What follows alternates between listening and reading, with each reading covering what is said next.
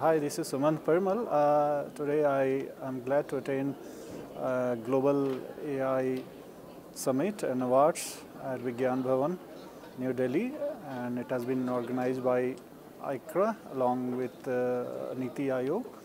And I had a very wonderful experience to attend this uh, event as a panelist, and the panel in which I participated uh, was on the uses of AI for uh, healthcare uh, services delivery improvement. So we deliberated on uh, many, many applications of AI in improving healthcare services, particularly in India.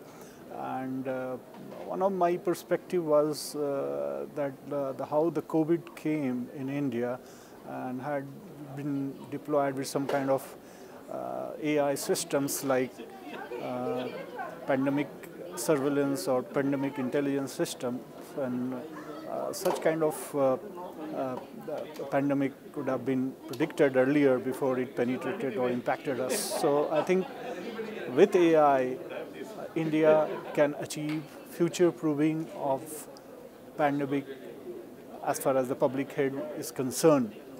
Similarly, the uh, AI is going to uh, deliver highly scalable, speedy and economic uh, healthcare services even to the remotest uh, locations. So I like to compliment the team who organized this AI event from bringing different themes on which the panels and the speakers spoke here and we had a very good audiences who were involved in participating this entire discussion and I'm sure with the intelligence uh, or the deliberations captured in this seminar and event will certainly empower India in leading on the AI front.